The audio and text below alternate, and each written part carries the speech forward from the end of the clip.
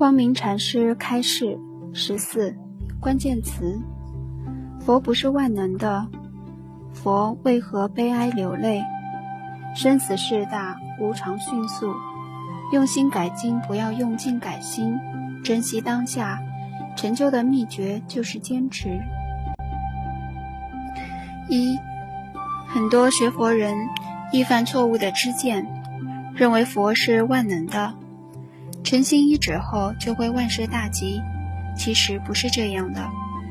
佛显示我们的是因缘法，法从因缘生，还从因缘灭。我是大法门，常作如是说。佛不是万能的。佛遵循善恶因果规律，给我们只是指出解脱之路，而解脱全靠我们自己。佛不能把我们像丢石头一样丢到极乐世界去。一切靠我们自己认识，自己本有一切的佛性，从而勇于承担生活中一切欢喜苦难。供养三宝就是供养自己福田，布施乞丐就是供养自己悲心。而往往供养多，有所求所得之心，一不如意，多生诽谤，推失道心，反而造成恶业，这都是不明佛的正见所致。更有外道邪说，不求正知，追求神通，以为神通就是究竟，愚昧众生即相堕落恶道。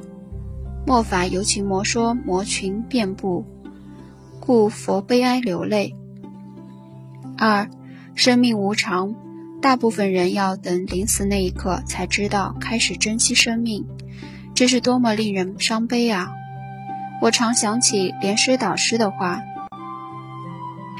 那些他他们拥有充裕时间的人，等到临终才开始准备死亡，然后就满心懊悔，这样不是已经太晚了吗？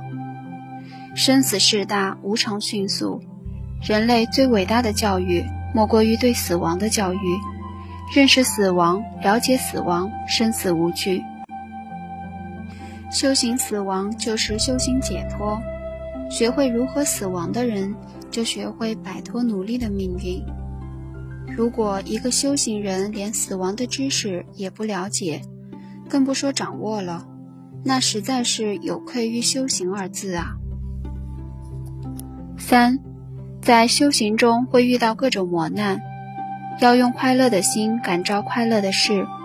给你一个不快乐的事，用快乐的心也会改变成快乐的事。用心改进，不要用尽改心呐。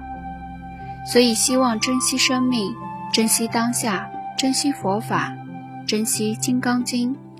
秘诀就是坚持，生命无常啊。